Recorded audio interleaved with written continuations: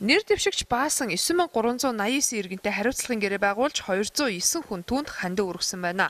Сонгогчтойгоо уулзах үеэр тэдний итгэлийг алдалгүй үүргээ бүрэн биелүүлэхэд тэрээр амлаж байна. Сонгогч олон нэр дэвшигч баасан ард түмнийхээ амьдралыг мэддэг дотор нь амьдарч байгаа игэл жирийн эмгтэй гэдгээр нь дуу нэгтэйгээр дэмжиж байсан юм а.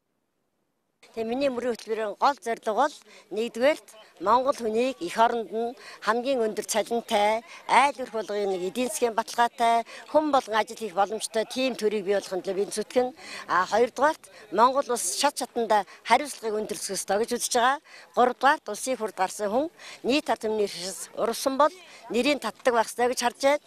А дараагийн дугаарт бол намуудыг гişинчлгүй болгох ёстой гэж үзэж байгаа.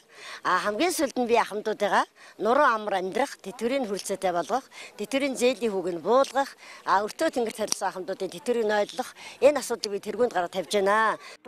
Ахмадын гэдэг тодтолтойгоор олонний танил болсон нэр дэвшигч баасан дундаж амьдралтай болоод дундаас доогуур амьдралтай иргэдийн дуу хоолойг төрд илүү хүргэнэ гэсэн ураатай ажиллаж байгаа.